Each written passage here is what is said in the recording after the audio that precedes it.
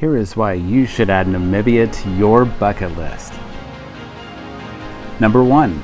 The tallest sand dunes in the world. Number 2. 900 year old trees. Number 3. Epic landscapes. Number 4. The journey of a lifetime. Thousands of miles of roads for you to explore. Number 5. Native tribes.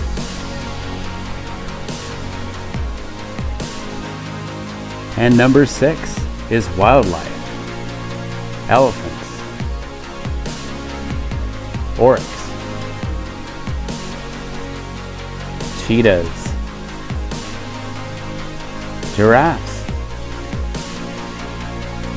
And leopards.